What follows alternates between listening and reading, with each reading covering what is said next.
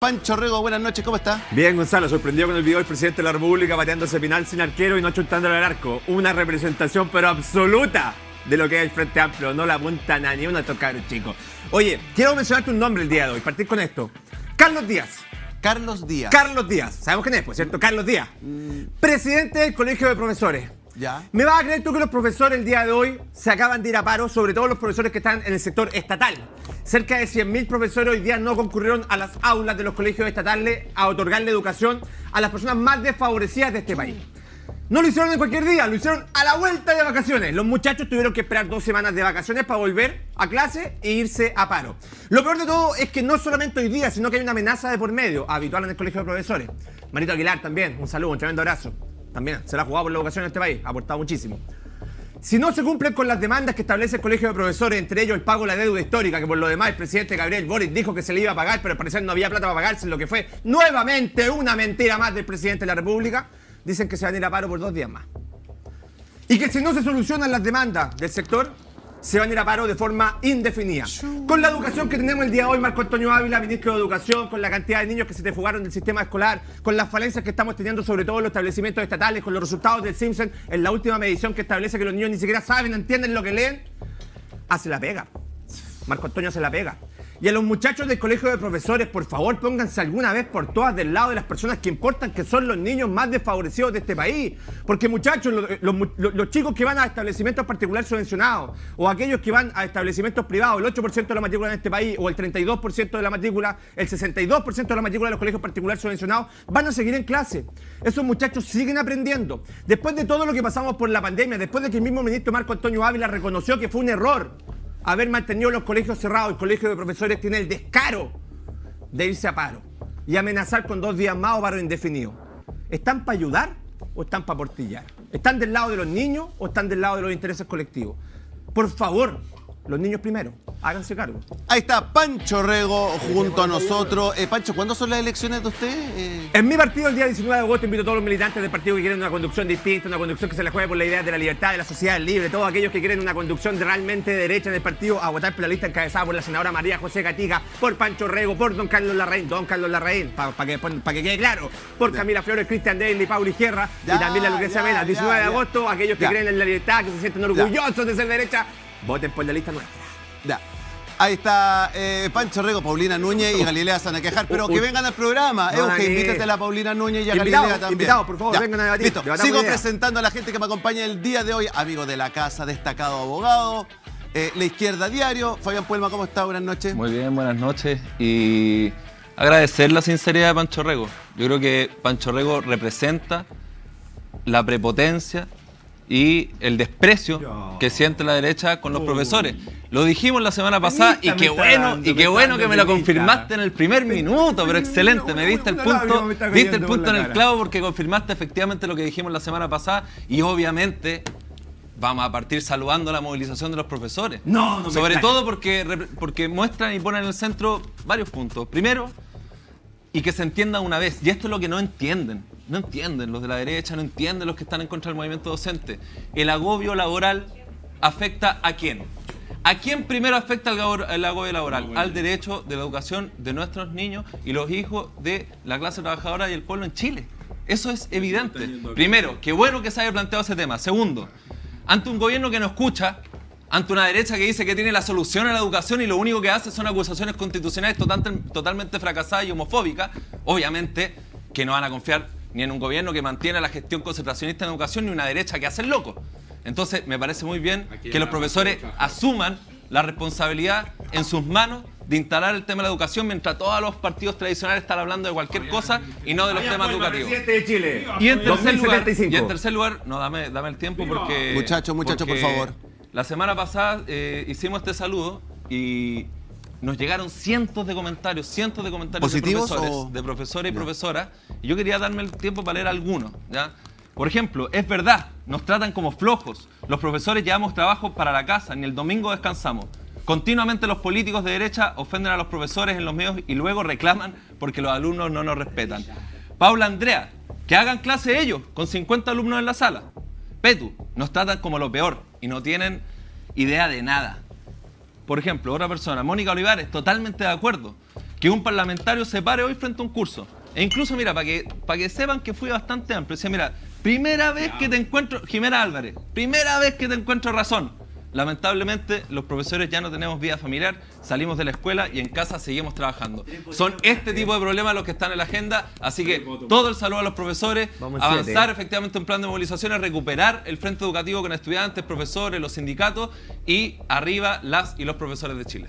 Ahí está eh, junto a nosotros Fabián Puelma. Muchachos, tengo invitada nueva, así que les pido por favor a mis amigos de siempre que se calmen, que la dejen hablar, que la dejen explayarse. Primera vez que está acá, puede que se ponga nerviosa, así que lo vamos a estar ayudando. Junto a nosotros, activista libertaria, eh, comunicadora digital, independiente, ex PDG. Señoras y señores, junto a nosotros Macarena Becker. Buenas noches, Maca, ¿cómo estás? Buenas noches, Gonzalo. Muchas gracias por la presentación y muchas gracias al programa por la invitación.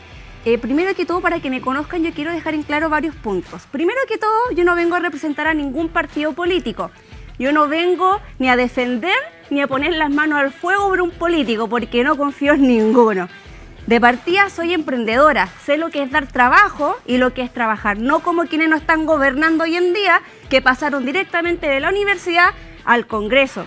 Estoy aquí para representar a todos esos ciudadanos que estamos aburridos del abuso que realizan con todo nuestro dinero, aburridos del traspaso a fondos, a fundaciones con claro objetivo político, todos los pitutos que tenemos en el, aparato, en, en el aparato estatal, perdón, todo el despilfarro del dinero que estamos viviendo en las municipalidades y en proyectos piloto, sueldos de alta gama en el aparato estatal. Y luego viene el ministro Marcel con su pacto fiscal a exigirnos a nosotros, a buscar aumentarnos los impuestos y apretar más el bolsillo del trabajador sin ellos primero autoexigirse y hacer una revisión de cómo están utilizando los dineros de todos los chilenos. Así que eso primero que todo, hoy vengo sin filtros y sin pelos en la lengua. Así que un saludo a toda la gente que me sigue, porque gracias a ellos estoy acá. Así que un besito. Ahí está entonces, eh, bienvenida Macarena Becker junto a nosotros. Arde el chat. Y ahora sigue ardiendo, sigue ardiendo el chat. Fíjense que en uno de los momentos más complicados de su carrera política está junto a nosotros. Agradecemos nuevamente su presencia. Fue eh, de Barbie suspendida, Barbie liberada. eh, mucha, mucha presión, muchos WhatsApp, muchos llamados. Ojo, se meten con ella, se meten con todo. Ya. Junto a nosotros, Paz Suárez, ¿cómo estás, Paz? Muy bien, Gonzalo, aquí eh, aguantando, po, aguantando. Sí, hay una camotera, pero sobreviviendo, sobreviviendo, sí. Podría ser Barbie, Barbie música. vetada pronto, ¿no? No, pero de verdad que estoy eh, preparada psicológicamente para que vuelvan. O sea, ¿qué más que ya salieron los 30 años a darme una camotera? Es lo máximo que puedo esperar, así que quiero que vengan de vuelta también es válido. Yo estoy esperando. Si yo levanto lista, Sí, pero metámosle miedo a la gente. estoy en todo mi derecho de levantar Epa. una lista si quiero. ¿Cómo eso levantar lista, Pancho Rego? A ver. Que sea candidata a presidenta del PPD. Podría, ¿por qué no? Upa. Cualquier militante PPD A puede. ver, a ver. Cualquier a militante PPD ver. puede. Ahora estamos, estamos es un escena- Tiembla, en un escenario interno en el PPD bien duro, ¿ah? no, es, no es menor, porque además el gobierno entero está presionando para hacer una mesa que sea Partido afín grande, a gobierno, partido ¿no? Porque ¿Cómo, esta eso? mesa ¿Cómo- no... cómo el gobierno entero está presionando? Claro, están presionando, quieren poner los candidatos que sean más afín a gobierno y no candidatos que sean tan duros con el gobierno como en el caso mío en esta mesa. Entonces, no es menor. eh, y la verdad es que yo he visto eh, en los últimos chats a nivel nacional dentro de mi partido poca convicción y mucho de cuidar el trabajo eh, de, compañeros y colegas. eh, que, están cuidando en el fondo la fuente laboral, no más que la convicción desde lo que nos mueve como partido. Hoy día sobrevivir y, y- y si para eso, pucha, tenemos que pegarle a la paz, peguémosle a la paz, pero hay que cuidar la pega. po. O sea, es como que el concepto hoy día desde la convicción ha cambiado mucho. Dentro del PPD ha cambiado. Estamos en proceso interno, estamos navegando en aguas eh, profundas. Y en eso, que no, no voy a seguir diciéndoles más porque es Ya. para otro programa. Ahí está eh, Paz Suárez. Yo vi el WhatsApp. Ojo, lo vi. No puedo decir mucho ahora, pero yo lo vi. Ya, sigo presentando a la gente que me acompaña el día de hoy. Amigo personal de Básica Lupe. Se mete en Twitter, se pegan unos cruces. Espero que hoy no venga enojado, eso sí. Amigo personal, destacado abogado, la bombita humana. Vicepresidente demócrata. Gabriel Emparte, ¿cómo está? Buenas noches. Ay, no me diga nada. ¿Basi cuánto me dijiste? Basigalupe le No manda uno- es hizo una encuesta en Twitter con usted. Deja que los perros ladren, Sancho.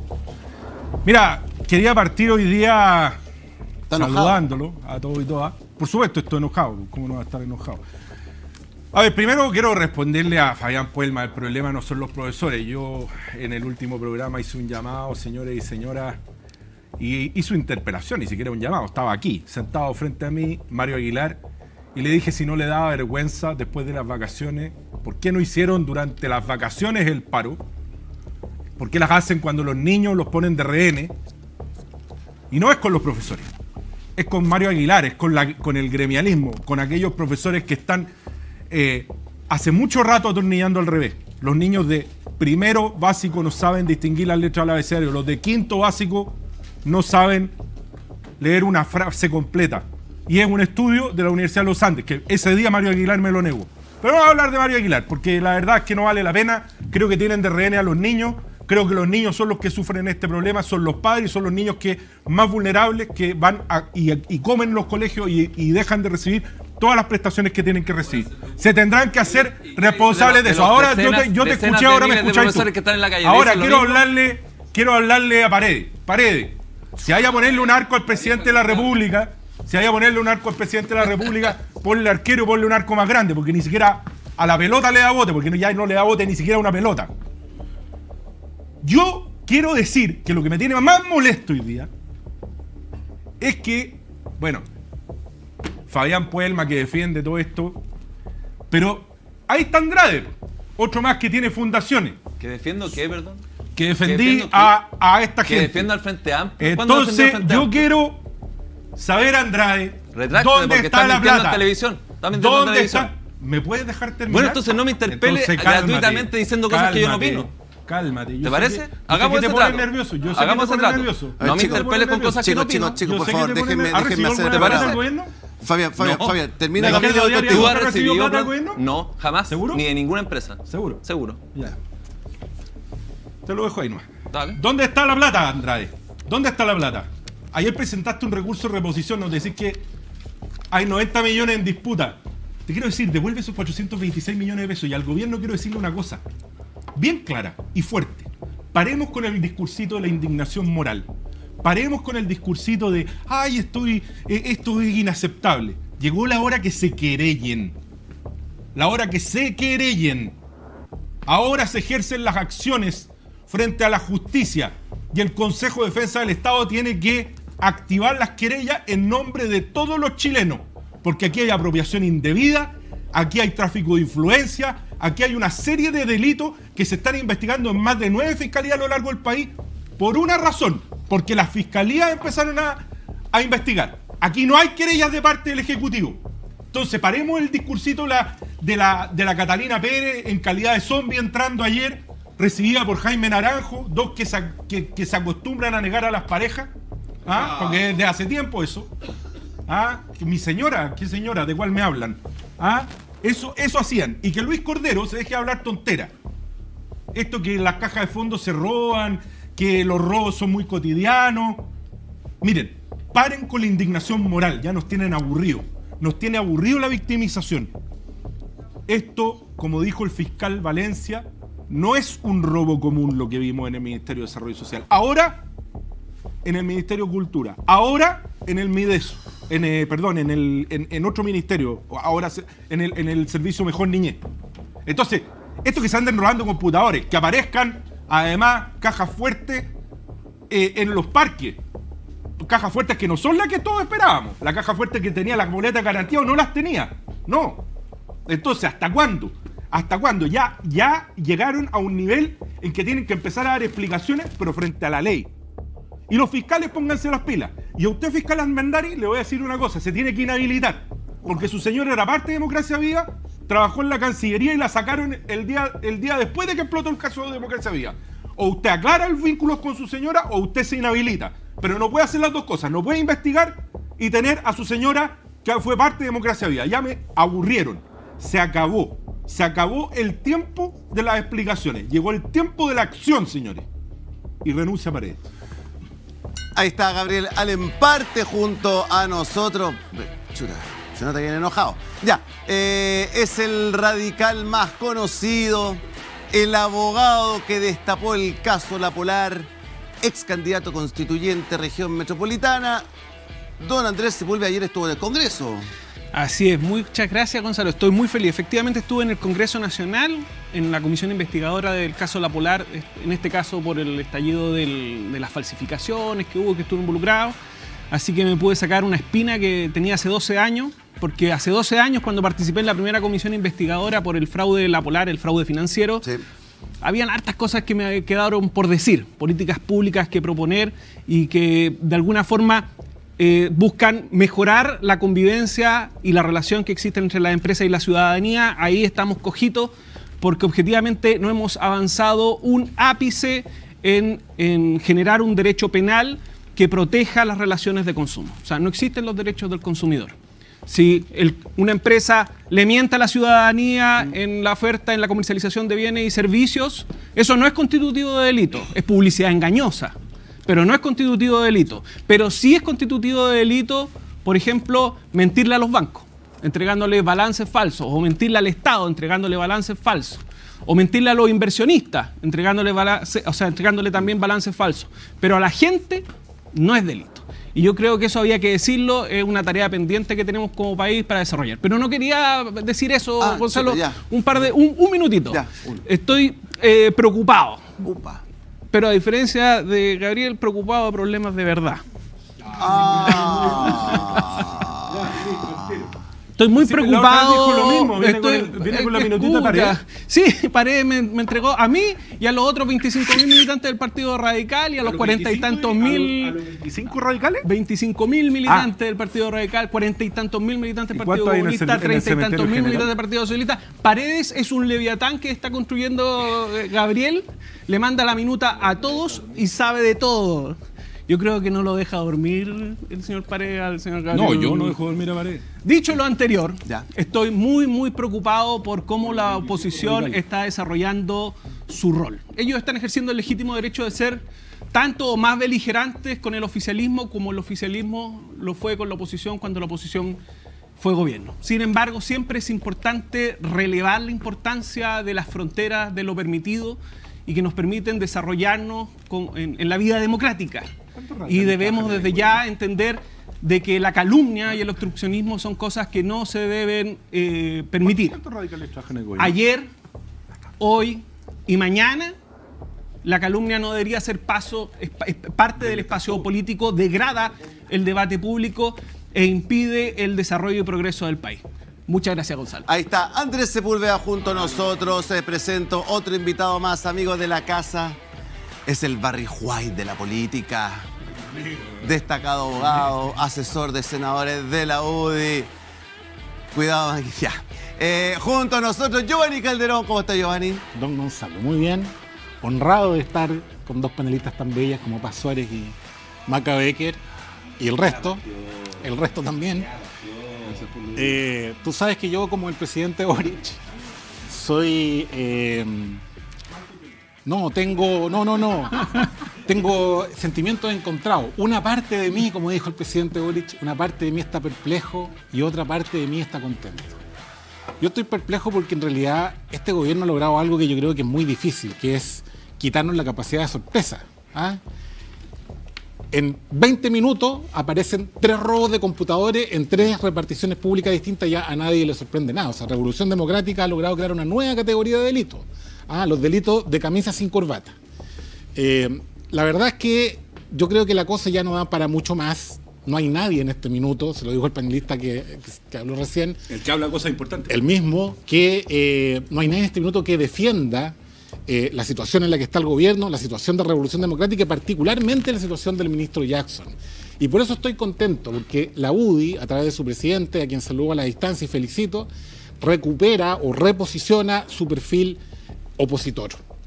Yo me alegro que a los pocos días de haberse hecho este planteamiento retirarse de la mesa de, eh, de negociaciones en materia de pensiones, Renovación Nacional y Republicanos estén siguiendo el mismo camino y estén siguiendo el mismo camino en el sentido de eh, mantener cortito al gobierno, ¿ah? Eh, marcarlo a presión, como sería a, futbolísticamente, ya que al presidente le gusta el fútbol. Así que contento por eso, porque finalmente, después de todos los ataques que recibió Javier Macaya, el tiempo terminó dándole la razón. Ahí está, eh, Giovanni Calderón, tenemos otro galán, galán maduro, perdón, es el decano de Sin Filtro, destacado periodista, junto a nosotros el abuelo Pablo Maltés. ¿Cómo está, abuelo?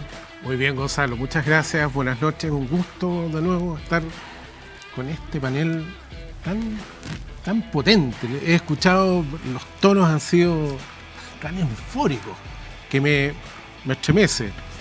Eh, creo que la política nacional está, ese es el clima, y me parece Claro. que está bien, estamos en democracia y ser altisonantes a rato puede, puede generar en la población una, como un llamado de atención, ¿no? un, un campanazo, porque efectivamente el despelote es gigantesco. A propósito de despelote, eh, el, el gobierno acaba de nombrar al nuevo director del Instituto Nacional de Estadísticas, ¿Ya? eh, después de haberse mandado el condoro, de haber nombrado hace un mes, un par de meses atrás, a una directora que no cumple con la ley, de acuerdo, con la ley del INE, que pero, es pero quizá era de democracia viva, ¿o no? de- eh, vinculada, no conozco el detalle, la militancia exacta de la señorita, pero claramente eh, hubo cinco diputados que presentaron un, un oficio a la Contraloría para pedir que se aclare la situación, porque hay ahí una irregularidad. Nombran a una socióloga como directora del INE y luego reculan después de este oficio. O sea, lo que quiero decir es que hay que relevar que un oficio presentado por parlamentarios pone al gobierno en antecedentes de algo que debería el gobierno manejarlo. Está lleno de abogados, son todos especialistas. La ley del INE es una ley antiquísima. Es una, eh, o sea, lo peor de todo es que lo que se viene es un proceso extremadamente complejo, que es el Censo Nacional de Población y Vivienda. El desfile de millones que va a haber ahí nos tiene que preocupar. O sea, si tenemos el, el cagazo que hay con las fundaciones, pensemos, hay que poner el foco en lo que va a ocurrir ahí. Y el gobierno tenía dispuesta a una señorita que era socióloga a cargo de una función que exige que sea un ingeniero. Se corrigió con este oficio, pero yo creo que la población tiene que estar atenta a lo que va a ocurrir ahí. Es francamente alarmante, por lo menos, el manejo de un censo. La cantidad, de- el desfile de millones va a ser Sí. impresionante. Sí. Ya. Eh, Euge, arrancamos el programa del día de hoy.